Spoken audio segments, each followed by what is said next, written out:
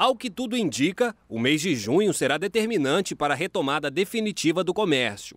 Em reunião realizada ontem entre a Prefeitura de Goiânia e lideranças empresariais, algumas datas de reabertura foram finalmente definidas. A partir do dia 1 do 6, algumas atividades já estão sendo liberadas, como imobiliárias, mercado e futebol.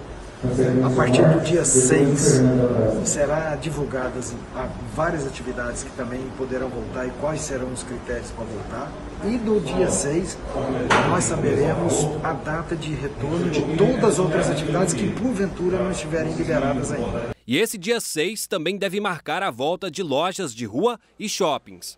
A região da 44 também já tem data para voltar, dia 13 de junho. E o presidente da associação, que representa os empresários da região da 44, garante: todas as medidas sanitárias serão tomadas para uma reabertura segura. Vamos voltar e voltar com segurança e muita responsabilidade. Nesse primeiro momento, não vamos receber as discussões oriundas de outros estados, vamos trabalhar com fluxo menor de pessoas, vamos ter máscara, vamos ter gel nos corredores, nas lojas, vamos ter tapetes sanitários, vamos fazer aquilo que a Organização Mundial de Saúde orienta e nós estamos preparados, prontos para poder dar uma resposta positiva à gestão do município. E de acordo com a secretária de Saúde de Goiânia, haverá uma fiscalização para saber se todas as medidas sanitárias estão sendo cumpridas. Principalmente com um monitoramento muito é, rígido, muito firme de cada segmento que nós permitirmos a abertura, eles vão estar sujeitos a um retorno de um fechamento até mais forte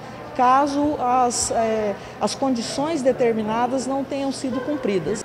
A nível estadual, o governador Ronaldo Caiado deve enviar nos próximos dias um projeto de lei à Assembleia Legislativa.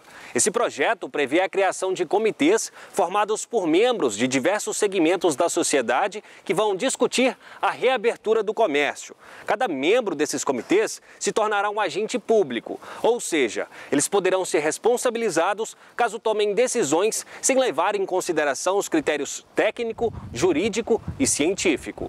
Mas a criação desses comitês não deve influenciar o comércio em Goiânia, já que o martelo já está batido. E para que o calendário de reabertura seja mantido, a secretária de Saúde faz um pedido.